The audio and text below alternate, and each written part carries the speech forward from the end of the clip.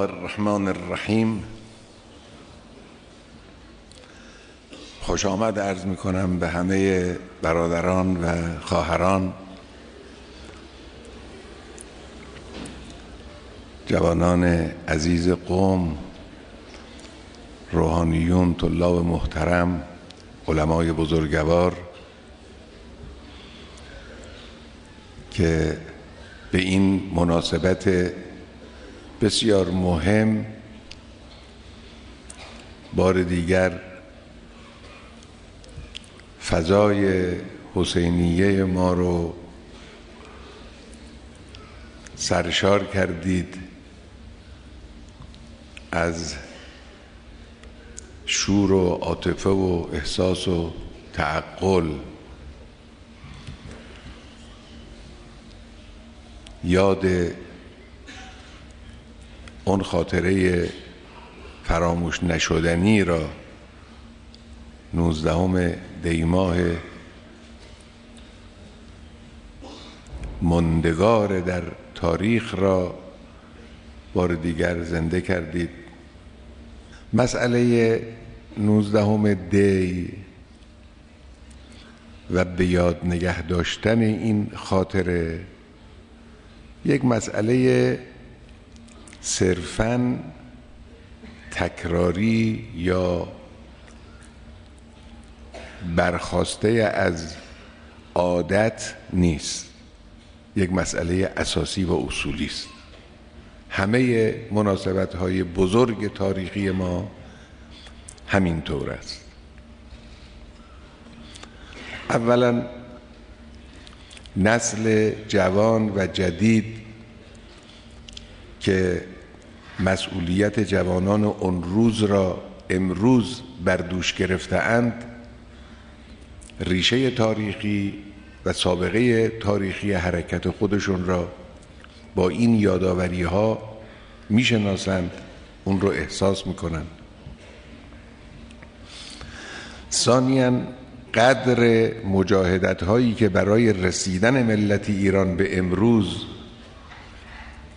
تحمل شده است سختی هایی که تحمل شده خطرهایی که با اون سینه به سینه مردم مواجه شده اند.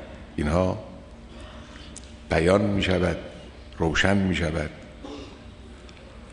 اونچه امروز ملت ایران در اختیار دارند یک نعمت آسان به دست آمده نیست. یک حادثه تصادفی نیست. رو خطر کن زکام شیر باید گفت زکام گرگ بجوی ملت ایران خطر کردند زحمت کشیدند جان دادند. در مقابل پلیس شقی جبار رژیم تاغوت ایستادگی کردند کشته دادن شهید دادن مجروح دادن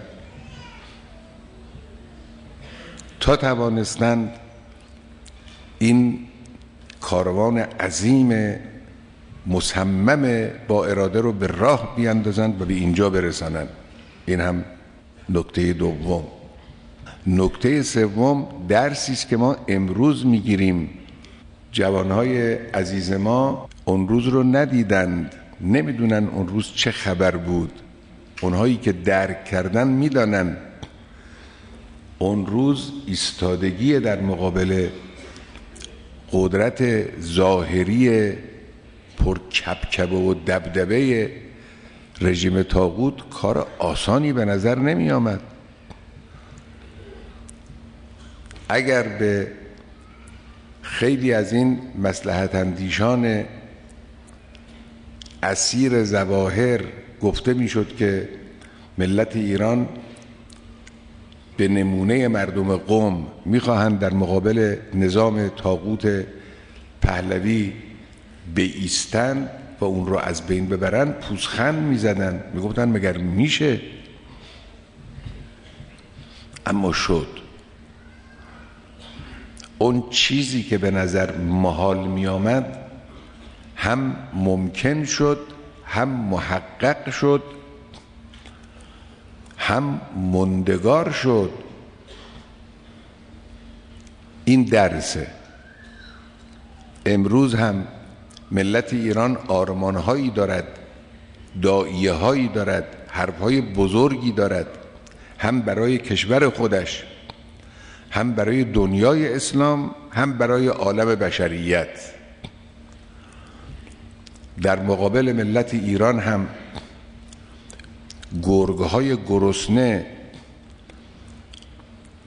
سبوهای افسار گسیخته این کمپانی های زر و زور این مجموعه های دنیا طلب دنیا پرست صف کشیدند در مقابل ملت ایران. اسلحه می‌سازند اسلحه صادر می‌کنند جنگ میافروزند. سازمان ملل رو با میل و اراده خودشون میچرخانند. هر جا می‌خواهند نظامی می‌برند. جنایت می‌کنند از ظلم حمایت می‌کنند از صهیونیستای غاصب حمایت می‌کنند ظلم می‌کنند بر جامعه بشری. با قدرت ظاهری با کبکبه و دبدبه ظاهری از قبیل همونی که نمونش رو در دوران تاغوت در ایران می‌دیدیم. امروز هم یه عده‌ای میگن آقا مگر می‌شود ملت ایران در مقابل این صف به هم پیوسته دشمنان مسلح به پول و زور و رسانه و اقتصاد و سیاست و همه چیز مگر میشه ایستاد؟ مگر میشه پیش برد؟ امروز هم همون حرفه. این یک تجربه است. بله. این حرف ما نیست. این حرف قرآنه.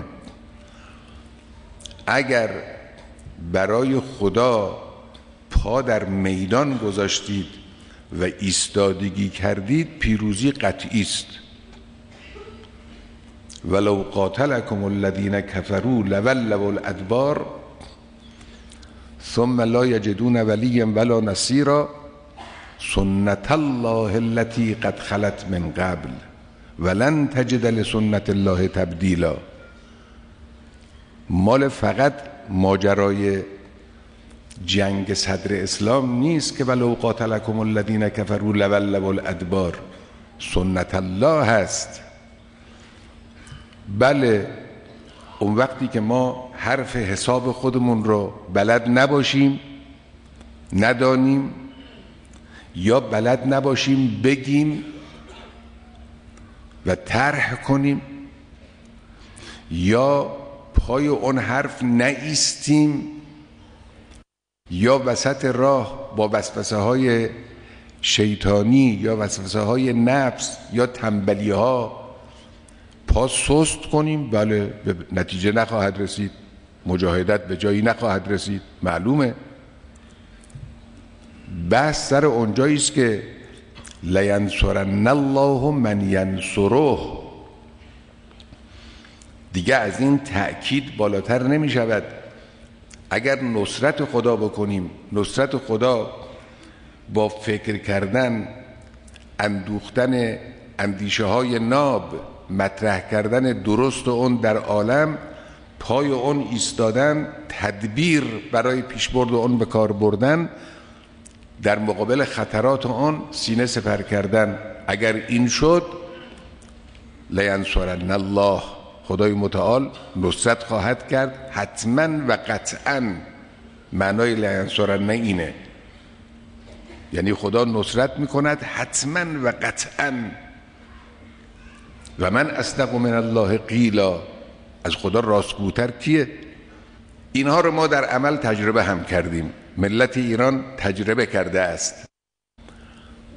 اگر شما ملت عزیز ما شما جوانهای پر خوشروحیه و پر توان و آزم در این راهی که دارید میرید ایستادگی بکنید شک نکنید که در زمان خود در زمان متناسب تمام آمال و آرزوها و دائیه و شعارهای ملت ایران نه فقط نسبت به خود این کشور بلکه نسبت به دنیای اسلام و امت اسلامی و جامعه بشری تحقق پیدا خواهد کرد.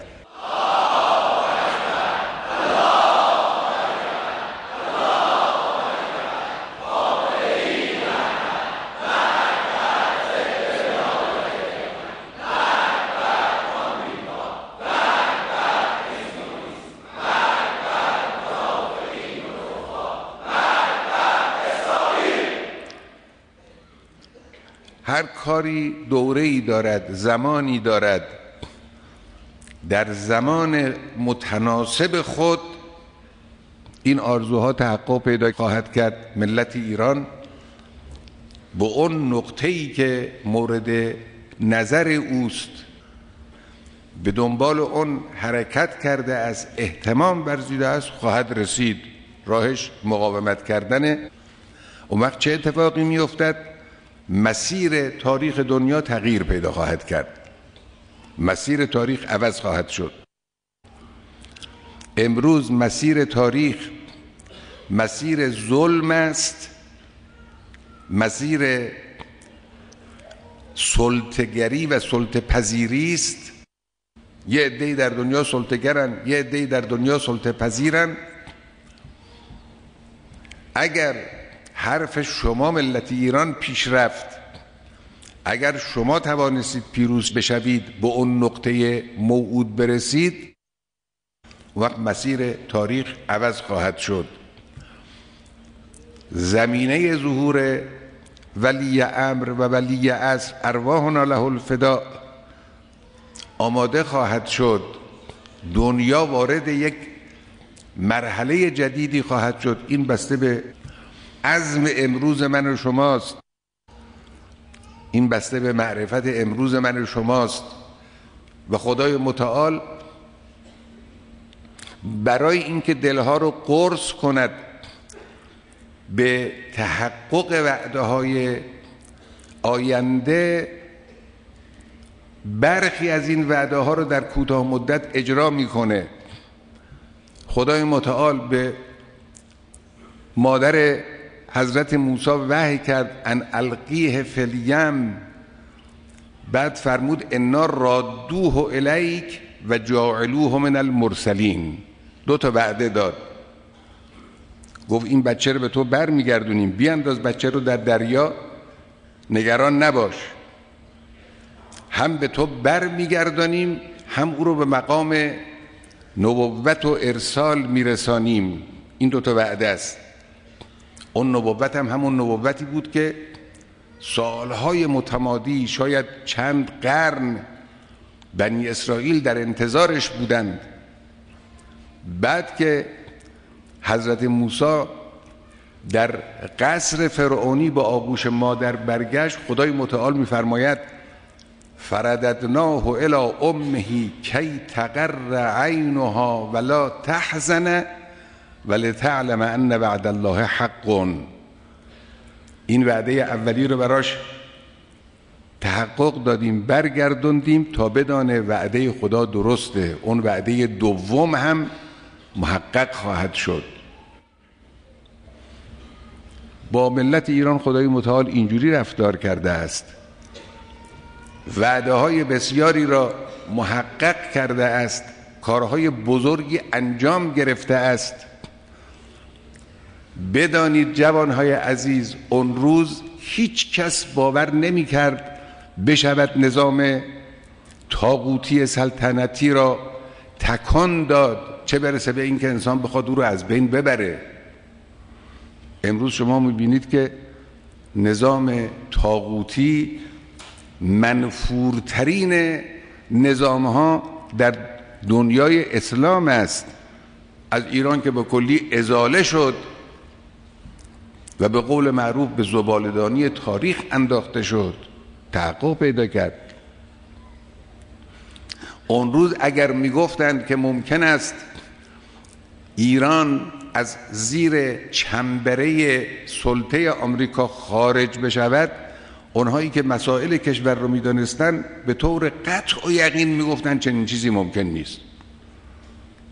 همه امور کشور همه سیاست های کلان کشور در اختیار آمریکایی ها بود. در جزئیات گاهی دخالت می‌کردن.